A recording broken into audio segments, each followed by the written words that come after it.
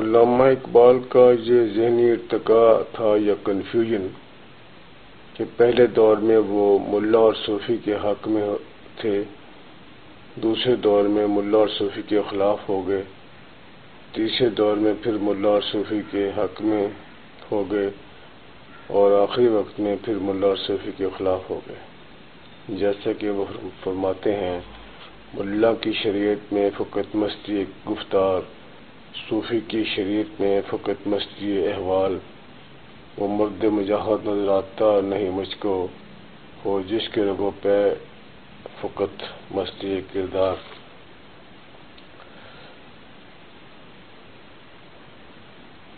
یہاں علامہ اقبال انسانوں میں وہ مثالی کردار ڈھونڈ رہے جس کا تذکرہ انبیاء کی تاریخ میں آتا ہے۔ یہاں آ کر علامہ اقبال یہ بھول جاتے ہیں کہ انبیاء کا کردار مثالی ہوتا ہے۔ ان کا اجتناع کیونکہ عام انسانوں کی اصلاح کے لیے ہوتا ہے، اس لیے ان کے اندر ایسا کوئی ایلیمنٹ نہیں ہوتا جس سے وہ متاثر ہو کر اپنا کردار متاثر کر لیں۔ انبیاء بے غرض ہوتے ہیں۔ ان کا مشن ذاتی مفادات نہیں ہوتا، بلکہ انسانی فلاح ہوتا ہے۔ اور پھر وہ اپنے صحیح و کاوش کا سلسلہ بھی انسانوں سے طلب نہیں کرتے انہیں نہ ہی اپنی شہرت کا احساس ہوتا ہے اور نہ ہی دھن دولت کا۔ ان کے دل میں صرف ایک ہی لگن ہوتی ہے کہ انسانوں کی عظمت بحال ہو جائے۔ کوئی انسان کسی دوسرے انسان کے آگے نہ جھکے، ہر انسان خودداری اور خود انحصاری سے زندگی گزارے۔ کوئی کسی کو غلام نہ بنائے، کوئی کسی کے رزق کے وسائل پر قبضہ نہ کرے۔ ہر ایک کا یقین خدا یکتا پر پختہ ہو اور ہر کوئی اسی دھن میں ہو کہ اس نے بندگی سے اپنے اللہ کو اور خدمت سے اللہ کی مخلوق کو خوش رکھنا ہے۔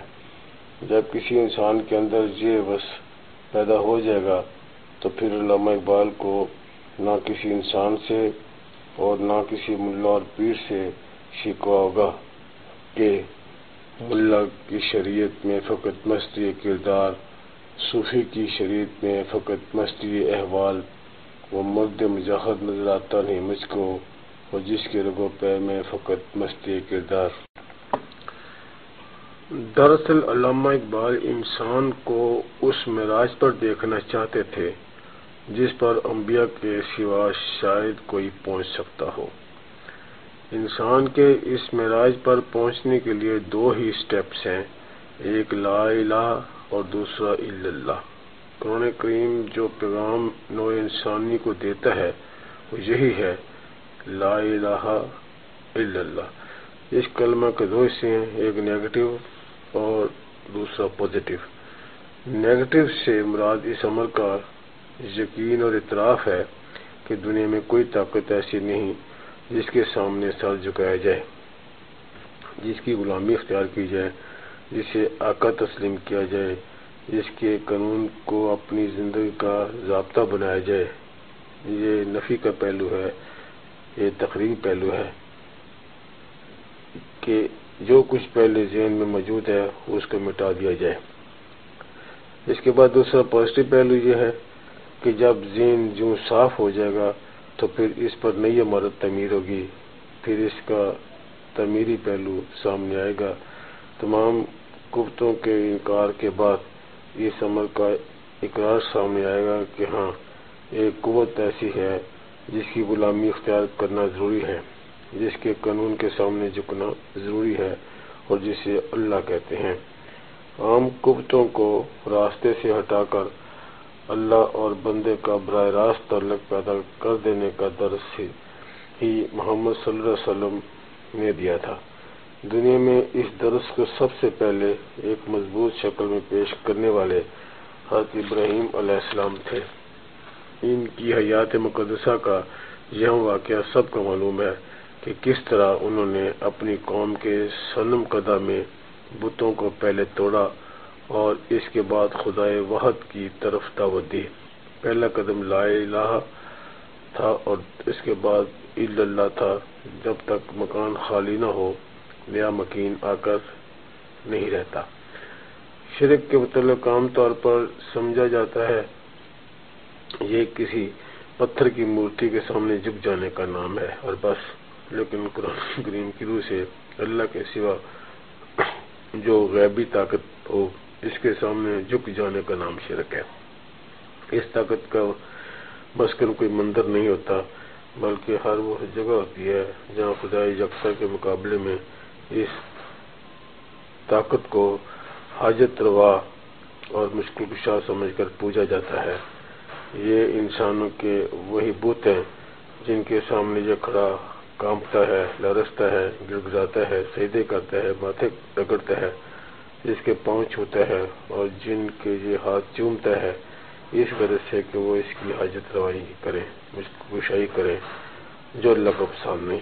اللہ تعالیٰ نے انبیاء کے آنے کا یہی مدعا بتایا ہے کہ ان کو اس لیے بھیجا جاتا ہے کہ وہ انسانوں کے گلوں سے غلامی کے توق اتاریں ان کی گردنوں کو بوجھ سے آزاد کریں اور ان کے پاؤں سے غلامی کی زنجیریں اتاریں۔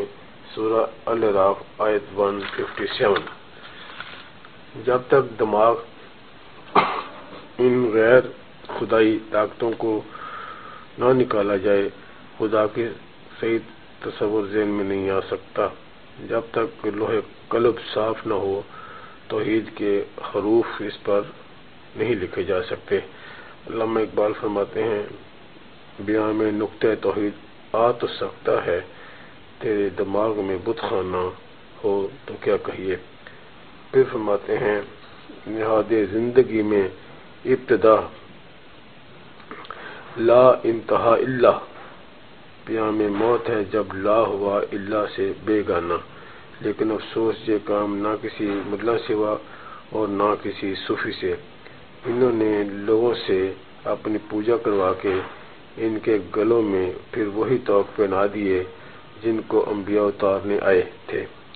آج ملا اور صوفی پھر انسانوں سے اپنی پوجا کرواتا ہے اور ان کو اپنے آگے جھکاتا ہے، ان سے سجدے کرواتا ہے۔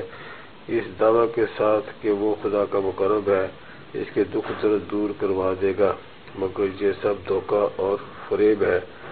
جس کا علامہ اقبال کو بھی یہ کہہ کر اعتراف کرنا پڑا۔